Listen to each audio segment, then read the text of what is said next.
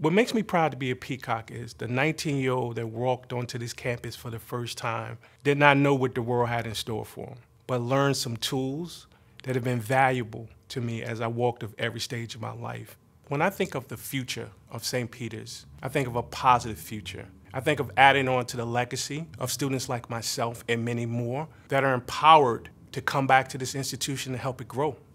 Peacocks rise.